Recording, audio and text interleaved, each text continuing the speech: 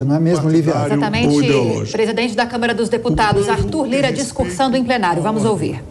Às instituições e ao patrimônio público.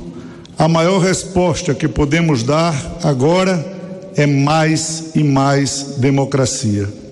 E mais democracia significa enfrentar e encontrar soluções para os verdadeiros problemas do nosso povo. Precisamos resolver as grandes questões nacionais, levar soluções para quem tem fome, para quem tem sede, para quem não tem emprego, aperfeiçoar os programas sociais, enfrentar os desafios da nossa estrutura fiscal, abrir vagas de trabalho, aumentar a renda, melhorar o nosso sistema tributário e torná-lo mais justo fazer o Brasil crescer, caminhando em direção a uma agenda positiva, a agenda da democracia, que nós temos que nos dedicar, olhando para frente, olhando para o futuro. Este episódio foi um desvio da rota que foi rechaçado e que temos o dever de trabalhar para que nunca mais aconteça. A resposta para o que foi feito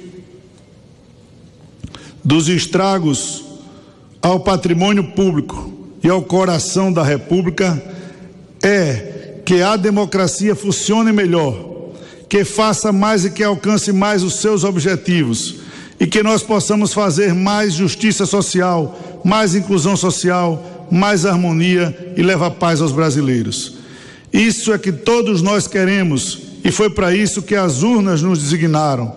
Este plenário será sempre a tribuna livre do debate, da democracia e da expressão de todas as suas vozes, calorosamente como a boa discussão exige, mas pacificamente, sempre, sempre altivo na defesa da democracia.